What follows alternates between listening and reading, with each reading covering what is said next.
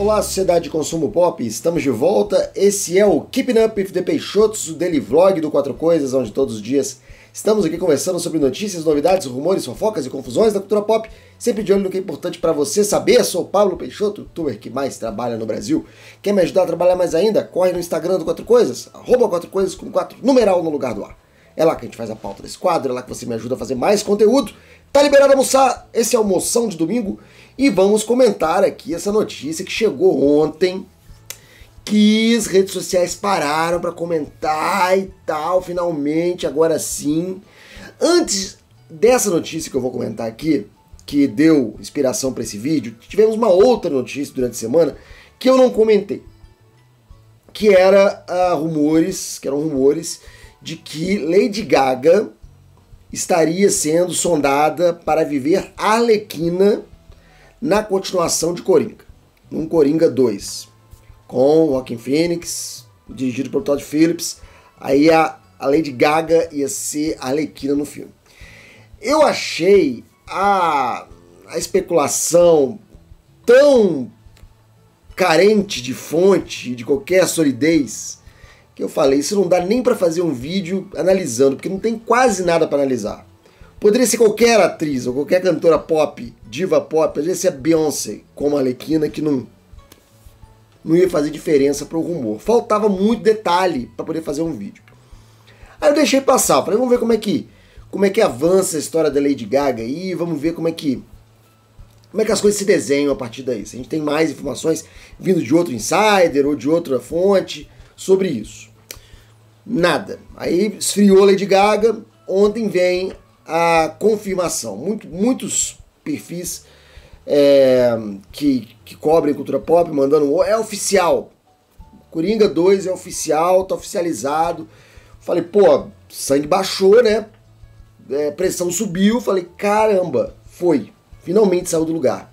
A gente tem duas informações sobre Coringa 2 que são realmente confiáveis. A primeira vem do Hollywood Reporter, que um filme, uma continuação, estava sendo analisada.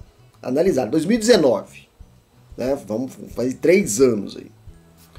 E a segunda informação é uma lista de produções para em aberto na Warner e Coringa 2 está lá no meio delas. Eu fiz até um vídeo sobre isso. Também nós temos declarações do Todd Phillips e do Joaquin Phoenix, onde eles dizem que uma continuação seria possível se o roteiro fosse bom e se todos, toda a equipe tivesse de volta. É meio aquela história, né? Eu faço você dirigir, você dirige se eu fizer e vamos tocando. Então ninguém negou que, há uma, que não há uma continuação, pelo contrário. As pessoas falam abertamente sobre isso, mas não há nada oficializado até o momento. Aí vem essa notícia de que é oficial. Falei, beleza, quem que oficializou? Primeira coisa que a gente pergunta. Né? Aí eu abro o. Geralmente, né? Eu abro a notícia não tem link, não tem fonte, não sabe de onde veio. Aí eu pego outra pessoa, o negócio já tava alastrando, né?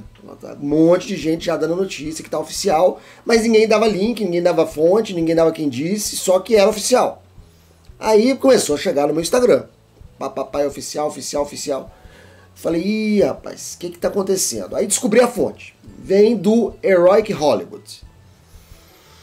É, não é a fonte mais confiável do mundo se ainda fosse um World Reporter, um Deadline, se ainda fosse é, é, algum site assim maior, a gente poderia ter Variety, a gente poderia até considerar melhor. Mas vamos ver, vamos ver o que está falando aqui.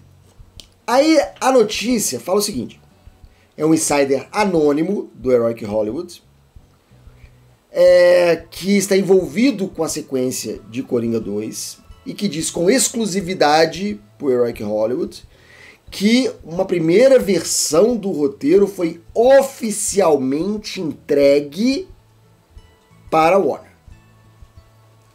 O que, que tem de oficial do filme nessa notícia? Nada. Ainda que o rumor seja real, ainda que realmente um roteiro tenha sido entregue, isso não é oficializar nada. Isso quer dizer que pelo menos uma ideia foi arranjada e tá na mesa do Walter Armada, ou da pessoa que analisa é, preliminarmente roteiros para ele. Tem um roteiro lá. Ó, ideia, vocês querem uma boa ideia? A primeira coisa é ter uma ideia para poder fazer uma sequência? Pois é, a ideia tá aqui.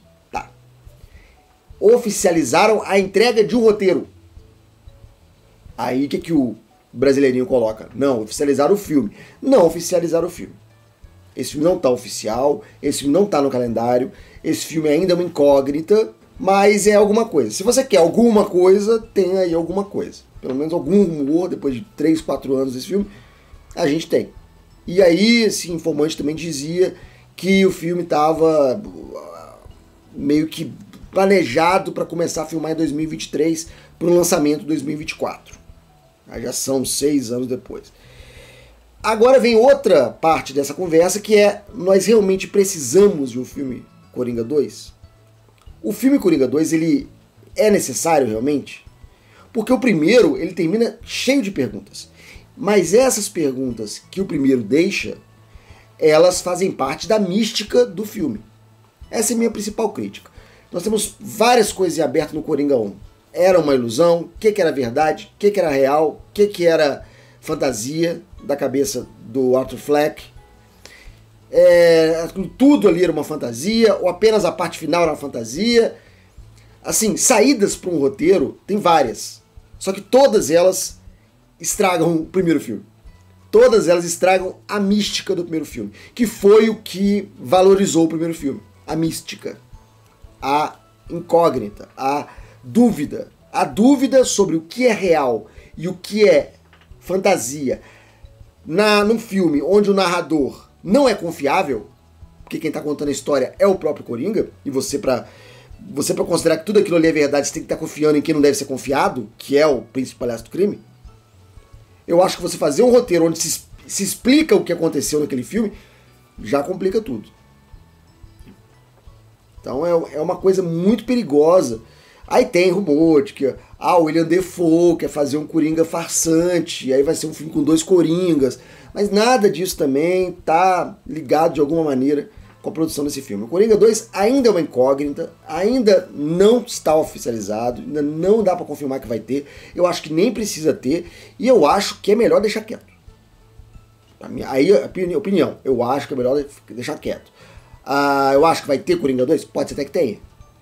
Porque né, a gente vê coisas malucas acontecendo em Hollywood, dinheiro canta.